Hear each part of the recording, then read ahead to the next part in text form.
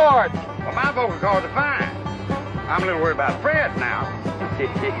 he's been gnawing everything in the cab of this truck, barking and screaming. I think he's turned into a stalk of bananas. Come back. What's your 20? About 16 miles this side of Mississippi.